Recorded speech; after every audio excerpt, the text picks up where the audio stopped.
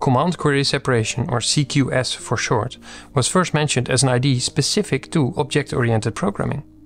But since, in the beginning, the first few years of my career, I mainly worked with languages that are not rigid object-oriented programming, it took me quite a few years to come across this principle.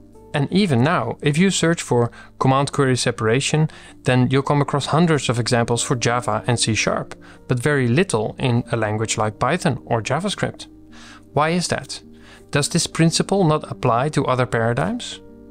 Let's look at how CQS is actually not specific to object-oriented programming. Part 1. What is CQS? CQS as a principle says to separate queries from commands. We'll look at what that means with code examples. CQS also has a bigger brother called CQRS, which is CQS but then applied to the architectural level. This video will not be about CQRS, it will only be about CQS. I will not show architecture diagrams, I will show code to get into the details. CQS is a principle you apply to functions or methods. It says to separate queries from commands. Queries are functions that read and commands are functions that write. The principle says you should have only two types of methods, two types of functions in your app, in your codebase. You're either a query or you are a command, but you're not both. You're either reading or writing, but not both. Queries are defined as returning a result and they do not change the state of the system. Now technically this says observable state because there could be internal state like maybe a cache that you do want to change when a query is being ran, but that's not observable state. That's not state visible to the outsider, to the call side. If you do not understand this, that's okay, just forget the word observable. Queries are asking a question, and the act of asking a question should not change the answer. Uh, the answer should always be predictable. And commands are changing the state of a system, but they do not return a value. Instead of asking a question, they are performing an action. In other words, queries do not mutate the state of your app, commands do mutate the state of your app. Let's look at an example.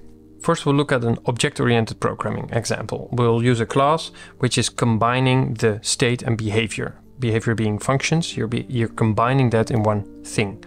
After this, we'll look at a functional programming example where we don't, where we're not combining those two concepts, we're separating them out. That's the, the big difference between object-oriented programming and functional programming.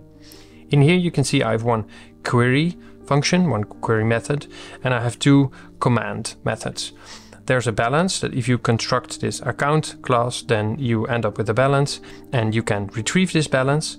The query function returns data, but it does not change the state and the command functions are updating the state. The balance is being updated if some stuff. Now you can see that the query is returning something, it has a return statement, and the commands are not returning anything. There's no return statements in these two functions.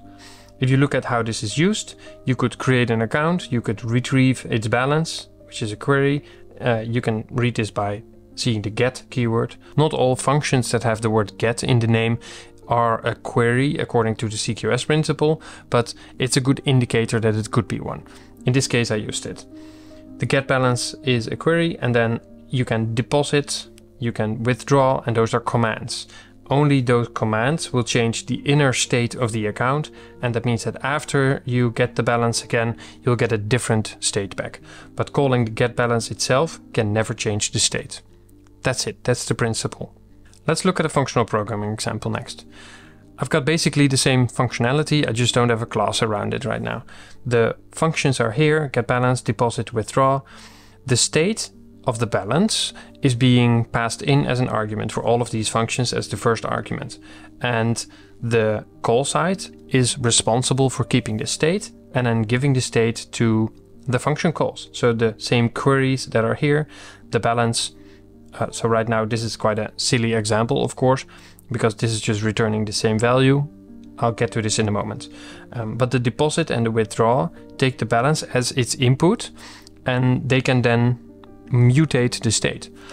But for this to work in functional programming where there is no mutation, you cannot modify a variable, you have to return a new version. So functional programming mutating a state means you're returning a new state. That means that a command in functional programming, in the CQS principle, does return a value. It's just the new state. There's still no mutation going on, and your command is still something that is not used to query for some data. No, you are actively mutating something, even though you're storing it yourself and it's not happening internally in a class. So the principle still applies. Queries return data and commands do things, they update the state. Part 2 Why CQS?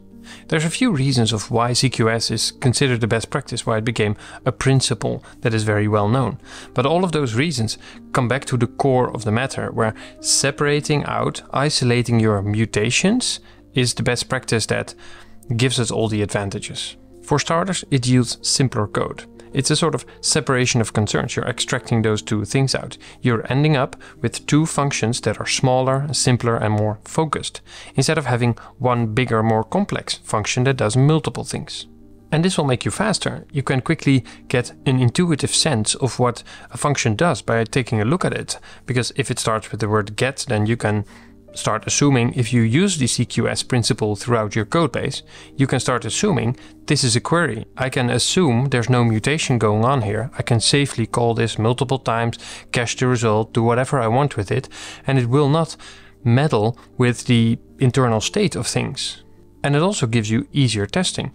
The fact that you have simpler functions that just do one thing also gives you tests that are more focused, simpler, and just test one thing. Now that you know that your queries aren't going to mutate state, that means more tests of queries, but also probably of commands, can be moved to the unit level, and you don't have to have them at the more expensive and slower integration or end-to-end level. And lastly, it gives you more clear API design. Whether it's an internal API that is internal to your codebase or internal to your team or company, or an external API, it doesn't matter. If you apply CQS as a, a, principle for your API design, you could choose a naming convention that makes it clear what is a query and what is a command. Or you could even literally mention in your API docs, we are using CQS, this is a list of queries, this is a list of commands. Part 3 Exceptions. Anywhere where you have asynchronicity or multi-threadedness at play, you may have a reason to break the pattern. Let's look at an example. Imagine you have a stack. In JavaScript, you would usually do this with an array, but let's imagine you implemented it yourself with a class. In one thread, somewhere in your code, there is on some event, you are getting the last item from the stack and you are doing something with it. And once you're done with it, you're removing it from the stack. Or maybe not once you're done, but immediately. Doesn't matter. And somewhere else in your code, because this is an asynchronous problem, you may have the same thing. You may have a race condition. These two, you don't know which one will fire first, whether they will run at the same time. Okay, JavaScript doesn't actually work this way. It's single-threaded, so this is guaranteed to be successful, to have no bugs. But imagine you are in a situation where you have a multi-threaded code base or you don't have single-threaded language. What could happen is that this happens first, then this happens, then this last thing is being removed, which is actually the thing that this code pulled off the stack. And then this code is removing the wrong thing. Now this problem is why the pop method was invented. If you use, instead of your own stack, you use a simple array and you would use the pop method, then you would have one method that breaks CQS that would be both getting the item from the stack and updating the stack so that the item is removed from the stack at the same time in one method. The return value is the only way in which you could have that value. After this method has run, the item is also removed from the stack. Now this convenience method is not always necessary, but it is nice to have. This example is probably not the best one because I tried to find a really, really small example, but imagine you have somewhere else in your code you have this stack object that is maybe not a stack but it is general state that you have. And then from multiple events on you're going to mutate that state. If you have global mutable states as it's called then you're going to have race conditions. And a pop method is a simple way to prevent that kind of thing. Now this is a very small example but you have this in the very large as well. If you look at RabbitMQ, for example, it has a pop method. RabbitMQ is a service, a microservice, a piece of software you can install to send things to with multiple servers. You could use that as a queue, but it still has a pop method, which is the operation of retrieving something and deleting it from the queue in one go, because otherwise you have race conditions as a possibility. Let's look at one more example of where you might want to deviate from using the CQS pattern. If you're working with events or with callbacks, with promises or async await code, then you might have a command, so that is an operation, a mutation, of which you might need to know whether it was successful. Maybe you, it could fail, maybe there's something else going on, maybe you need some kind of result. Let's look at this example. I've got a user manager here that has an add user uh, command. This asynchronously adds a user and then it returns the user ID. It has a very similar situation as the pop function because this user ID you have this one chance of getting the user ID of the last added user if this is a situation that you need. The thing you just added, you might want to know the ID of. This is a reasonable use case.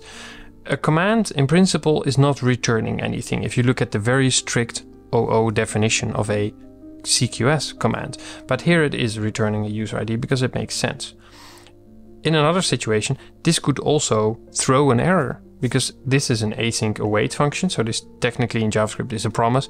Promises can reject. What if this fails? This could throw and the call side would have to try and catch that exception. The rule says don't return from a command, but in practice, it makes sense right now.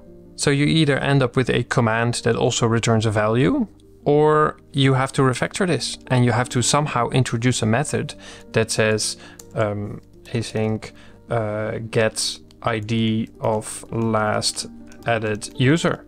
But this may be very difficult or impossible to implement, depending on how this database service is implemented. If you are sending lots of requests to this service, then how would it know which was the last one? And that's it. I hope this was helpful. I hope you liked it. What do you think? Is this a pattern that you could start applying right now? Please leave a comment and subscribe. Thank you very much for watching.